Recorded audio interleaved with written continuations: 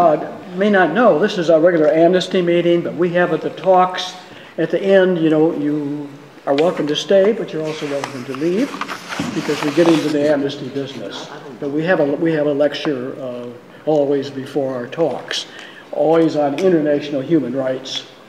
And um, he is following an- a lecture on Armenia just a couple, couple months ago. Now we're just moving down into a, a smaller country, a larger No, country. actually, a country that Armenia was a part of at one time. Yes. Anyway, you have the floor for a good 40 or 45 minutes. Following that, uh, where some law students are coming from uh, Temple who want to talk about their worker center. So that's the only change in the agenda. Maybe- Are they Many of you seen the agenda. Right? Yeah. What time? You have the floor, 45, 45, 50 minutes or so. Okay, what And you can have other what people time they are coming? Yes, ten you have